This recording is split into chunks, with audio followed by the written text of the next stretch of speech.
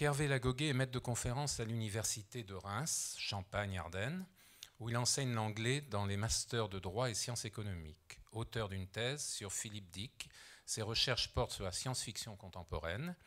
Il a publié plusieurs articles sur Philippe Dick, euh, Ballard, ainsi que Robert Silverberg et Bret Easton Ellis. Ses travaux plus récents l'ont porté à s'intéresser à la science-fiction française.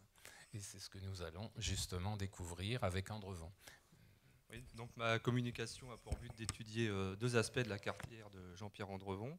Euh, premièrement, les circonstances de l'éclosion de l'écrivain, euh, liées à un contexte sociopolitique et à un renouveau de la science-fiction en France dans les années 70. Et deuxième point, sa thématique engagée, antinucléaire, écologique et militant pour une terre propre. Et faute de temps, je ne ferai que quelques références à l'aspect multimédia de son œuvre. En 2008, la revue Lunatique publiait un numéro spécial au Andrevon à l'occasion de ses 50 ans d'écriture et de ses 40 ans de professionnalisme. Cet auteur voit en effet sa première nouvelle publiée en mai 1968 dans Fiction, une coïncidence hautement symbolique d'une œuvre engagée, puisqu'Andrevon portera longtemps l'étiquette du gauchiste de service. Son premier roman, Les hommes-machines contre Gandhar, sort en 1969, année érotique si l'on en croit Gainsbourg. Autre clin d'œil du destin à l'œuvre d'un auteur qui souvent écrira son amour des femmes et du corps féminin, quitte à se voir censuré ou se voir traité de pornographe. 68 et 69. Deux dates repères dans l'évolution de la carrière d'Andrevon et de la science-fiction française. 68 et les événements de mai, d'où naîtront les vocations à écrire une science-fiction sociale, exacerbée par la traduction de Jack Baron et l'éternité en 71, Tous à Zanzibar à 72, ou Dangereuse Vision des œuvres contestataires qui, remarque Natacha Basderes, je la cite, féconde un imaginaire science-fictif français qui, allié à des engagements militants et politisés, explore toutes les facettes de la révolte. 69 et les premiers pas de l'homme sur la Lune, ce qui peut émousser la fascination technologique du genre, déjà peu développée chez les auteurs français. Si Andrevon n'a jamais cessé de publier, il reconnaît que les années 70 ont été les plus stimulantes de sa vie, déclarant Il me semble que c'est dans cette brève et fulgurante décennie qu'on a tout découvert. Cette décennie paraît d'autant plus riche qu'elle succède à une période que Gérard Klein qualifie en 67 de crise de la science-fiction française, en manque d'auteurs de qualité et ce pour plusieurs raisons de rentabilité, de marché, de mentalité, de savoir-faire et de motivation. Un constat repris par Andrevon. La science-fiction dans notre pays n'en finit pas de naître, de succomber, de renaître. Combien parmi nous n'ont-ils pas baissé les bras après avoir lu le dernier Van Vogt, Bradbury, Silverberg, Brunner? Ce processus d'aliénation, nous le vivons depuis que la guerre nous a coupé de ses racines potentielles, qu'étaient Spitz et Messac, eux-mêmes enfants de Jules Verne. Or, peu d'années après ce triste état des lieux, la science-fiction en France et la science-fiction française vont se porter beaucoup mieux. Je rappellerai en quelques mots la multiplication des supports, des collections de prestige comme Ailleurs et Demain chez Lafon en 69, des collections de poches estampillées science-fiction chez Presse Pocket ou pas chez J'ai des revues comme Univers. Le marché connaît alors une explosion démographique que Gérard Klein résume ainsi.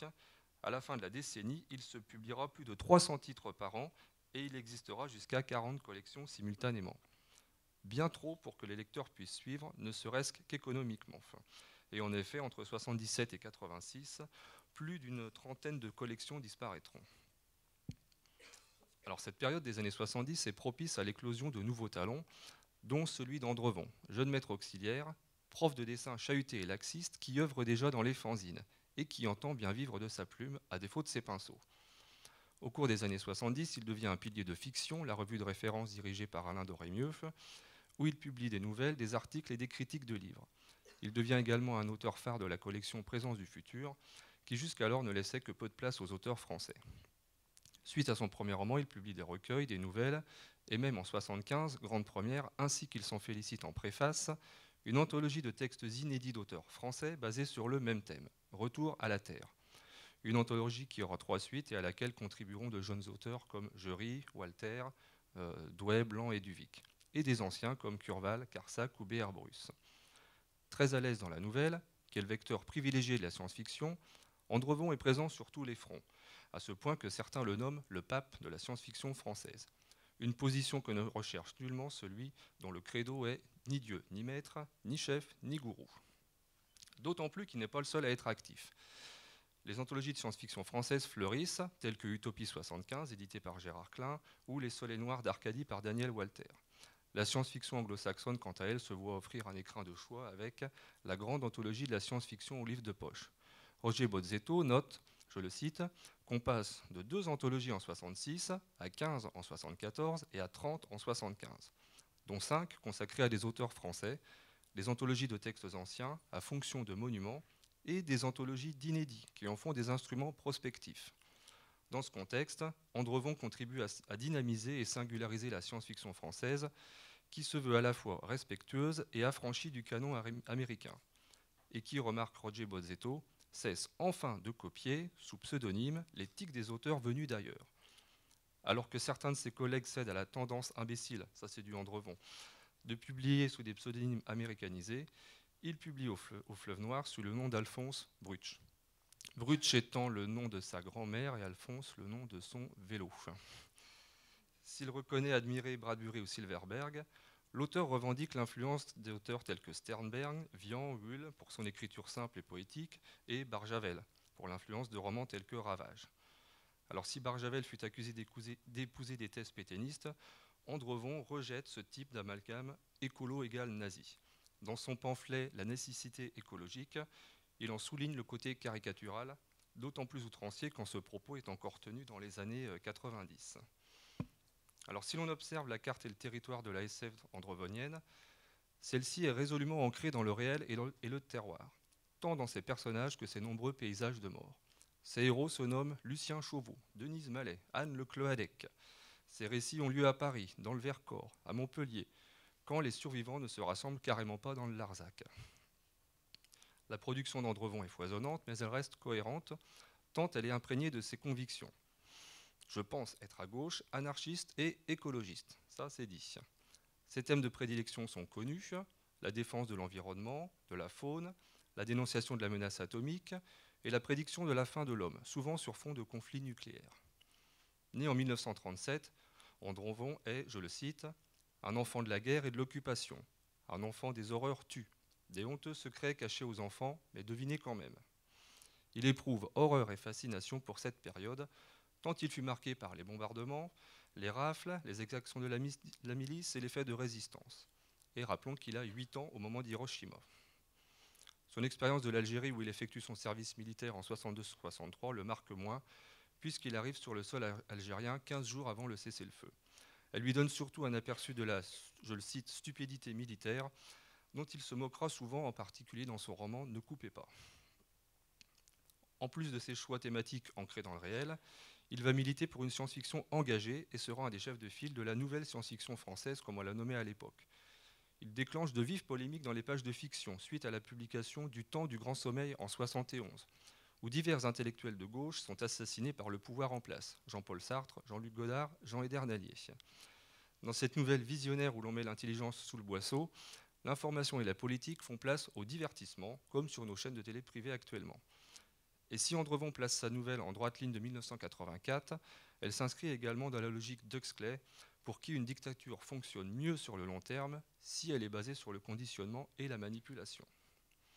Alors la polémique que déclenche Andrevon euh, grondait déjà, puisqu'en réaction à une tribune de Jacques Guamard, répondant à une lectrice qui clamait n'être pas intéressée par l'opinion publique des auteurs et encore moins des critiques, Andrevon lui répond en 1971 Avec la politique, la science-fiction entre dans l'âge adulte. Elle perd cette innocence fallacieuse qu'on a trop souvent vu voir en elle. Car en science-fiction, comme en toute littérature, l'innocence n'existe pas. La SF est création et un innocent ne crée pas.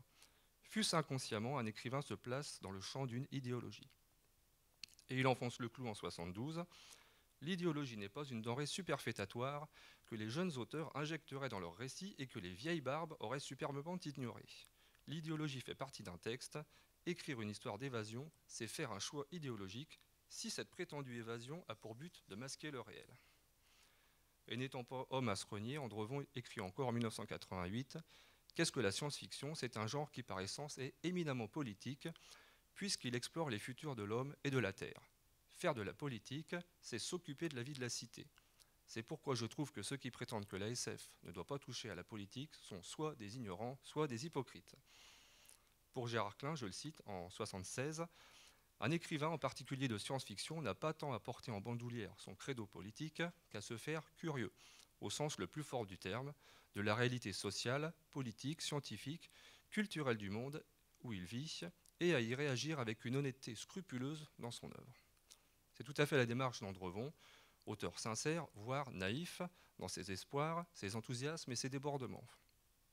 Militant écolo de la première heure, il participe dès sa création en 1972 à La Gueule ouverte, le journal qui annonce la fin du monde, qui est la première revue écologique militante, anti-nucléaire, anti-multinationale, à laquelle il fournit des textes et des dessins pendant euh, huit ans. Alors la nouvelle euh, science-fiction politique française connaîtra son heure de gloire euh, au milieu des années 70, avec par exemple la création de la revue Alerte et surtout de la collection Ici et maintenant chez Kesselring, sous la direction de Bernard Blanc, remarqué pour son ouvrage Pourquoi j'ai tué Jules Verne. Andrevon y publie le tome 4 de Retour à la Terre et par exemple Jury, l'anthologie Planète socialiste, où il se demande en préface quel pouvoir le socialisme peut-il opposer au pouvoir de l'argent? Question toujours d'actualité. On aura même droit à la planète Larzac chez un autre éditeur. Enthousiaste, bouillonnant, mais également de courte durée, ce mouvement eut tout son lot de critiques. Ainsi, en 1984, Jacques Sadoul dénonce le terrorisme intellectuel de 15 ou 20 personnes qui avaient fait du bruit comme mille, et il ironise sur la confidentialité du, du mouvement en termes de vente. En 1985, Daniel Walter, qui fait le bilan d'un mouvement dont il fut acteur et spectateur, estime que celui-ci n'a rien inventé, se contentant de reprendre des thèmes anti-utopistes déjà traités avec plus de force et de talent par d'autres auteurs, à commencer par Orwell. Alors à cette époque, on dit qu'Andrevon est incontournable, et une fois la grande vague des années 70 retombée, il demeure inoxydable, ne cessant de publier, même pendant le reflux des collections science-fiction des années 80, ou l'abandon de projets tels que Utopie 1985. Dans les années 90, il devient plus actif dans le polar, tout en y injectant des touches de science-fiction ou d'étrange, polar dystopique avec l'œil derrière l'épaule ou polar fantastique avec les fantômes ne vieillissent jamais. Alors bien après l'effondrement de ce mouvement, de cette littérature tracte, les nouvelles générations d'écrivains français des années 90 intégreront cet élément de discours social et politique dans leurs œuvres de façon plus subtile et digeste que certains tribuns de bistrot un peu trop sermonneux ou ennuyeux au goût de Gérard Klein. Et c'est une tendance qu'analyse Natacha Vazderès quand elle évoque le rôle de veille critique de la science-fiction française, notamment à propos d'auteurs comme Ayardal, Bordage et Lehmann. Pour Andrevon, à l'époque, le grand fléau à combattre, c'est la menace nucléaire. Dès sa première nouvelle, La Réserve, il s'intéresse aux conséquences de la guerre atomique, cette réserve étant destinée aux spécimens humains en voie de disparition, c'est-à-dire des hommes ayant échappé aux mutations qui ont transformé la plupart des survivants en créatures tératologiques. Alors si la, peur de la bombe n'est plus au premier rang des grandes peurs occidentales, il faut se souvenir que pendant la guerre froide, celle-ci était bien réelle. Dans le recueil Neutron, publié en 1981, il regroupe neuf nouvelles qui traitent de la guerre atomique, entrecoupées de déclarations et de coupures de presse qui donnent un caractère plus authentique à ces visions. Il cite un député, un général ou encore Charles Hernu, ministre de la Défense de l'époque. Neutron propose un véritable catalogue des menaces, des peurs et des catastrophes liées au nucléaire, militaire ou civil. La focalisation sur des sites symboles comme Cresmalville, Superphénix, la constitution de stocks de vivres, l'espoir de survivre dans, un abri anti-atomique, la destruction des villes, les mutations monstrueuses, la régression physique et morale des survivants, la contamination millénaire, les paysages post-nucléaires, la survie de l'espèce, si tant est qu'elle soit sétable dans le désert du monde. Alors on sait que le film a inspiré de nombreux films, comme Le Dernier Rivage ou Le Docteur Folamour, ou le téléfilm Le jour d'après de Nicolas Meyer, qui avait suscité beaucoup de débats à sa diffusion en 1983. Alors le monde d'après la bombe a aussi inspiré des romanciers comme Robert, Merle avec Maléville ou Dick avec Dr. Blood Money. Les exemples sont légion et ils sont répertoriés par Paul Bryans dans son livre euh, Nuclear Holocaust, euh, Atomic War in Fiction.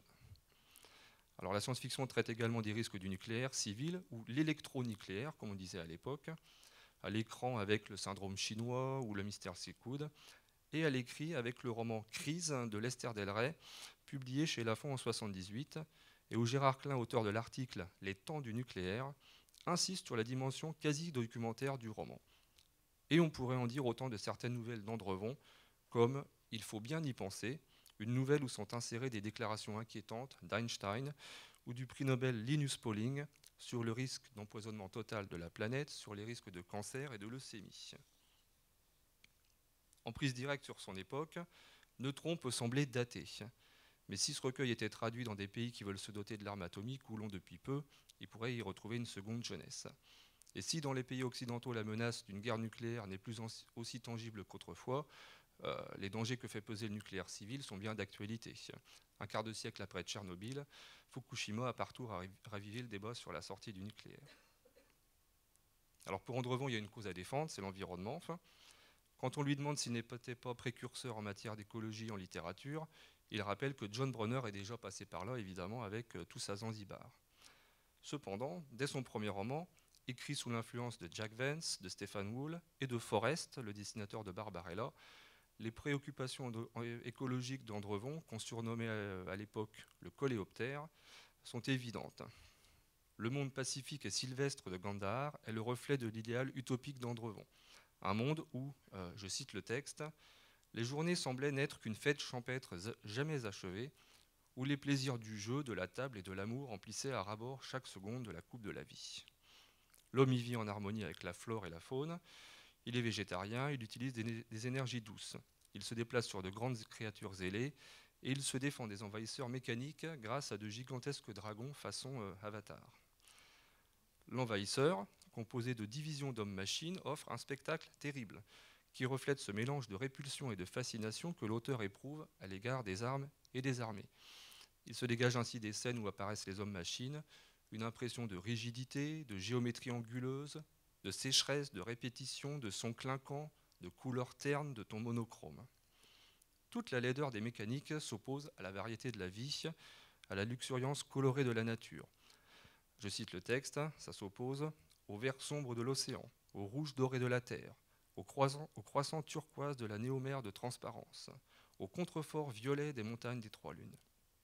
Alors il faut rappeler qu'Andrevon est également peintre et que Gandhar était à l'origine une bande dessinée qu'il avait voulu pleine de couleurs et de péripéties.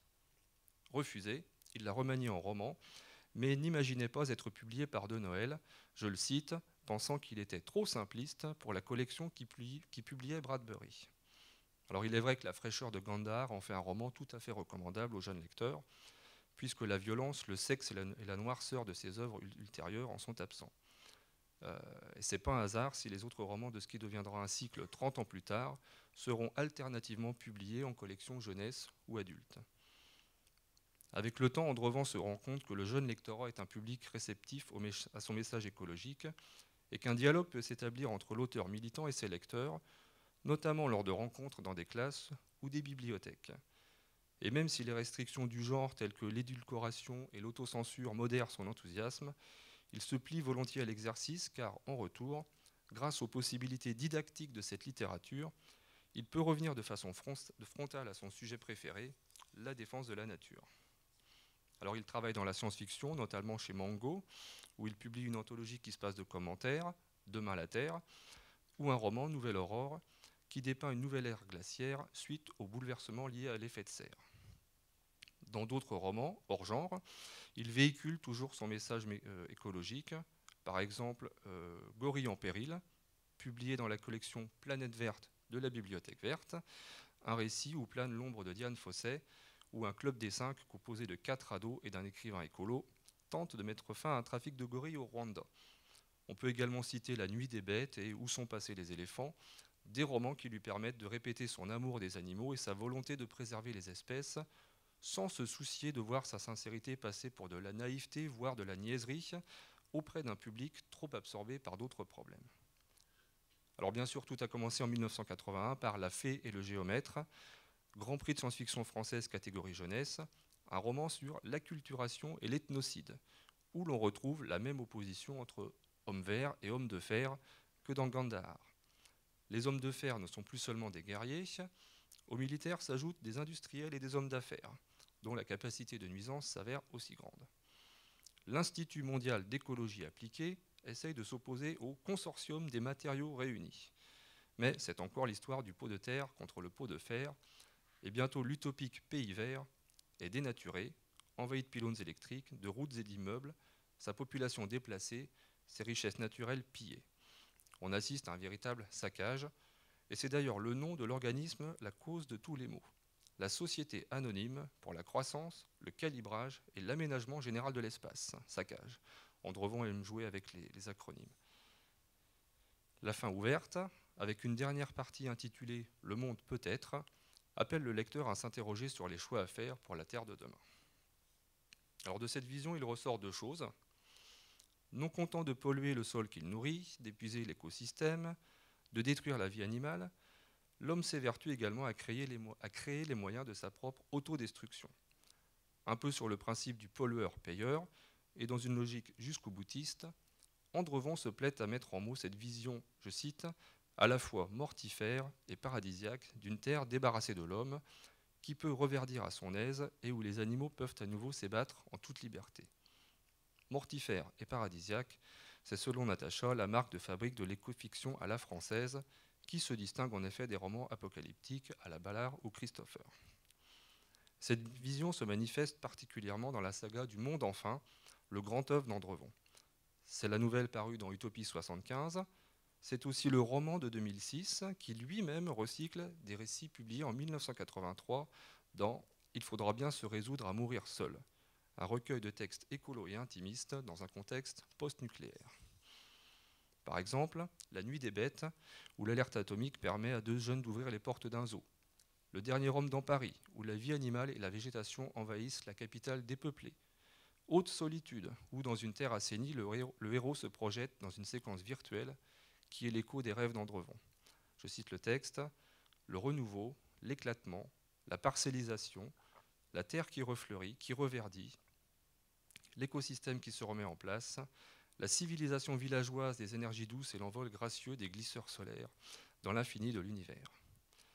Au début des années 80, l'écrivain entretient encore les espoirs écolos nés de ces années 70 où l'on fredonnait Ouvrez la cage aux oiseaux en 71 ou Merde que la vie est belle sans ces putains de camions en 72. Des textes que ne renierait pas Andrevon le chanteur, dont la carrière musicale est confidentielle, mais euh, qui épouse malgré tout les thèmes de sa carrière euh, littéraire. Pour Andrevon, un récit de science-fiction est le reflet du réel, de la société où vit son rédacteur.